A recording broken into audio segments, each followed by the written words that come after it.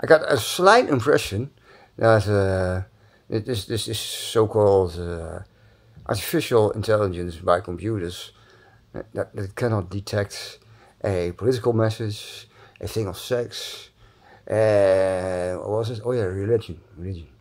Huh? Because in the Netherlands, when you would like to make your own stamps, uh, you can scribble down a code. You cannot decide what that code is. That is it. Yeah. And then I ordered postal stamps. I do not want to spoil the surprise. Uh, but there I didn't really do when I do that upload. Uh, I was drunk. I looked like some jerk on her.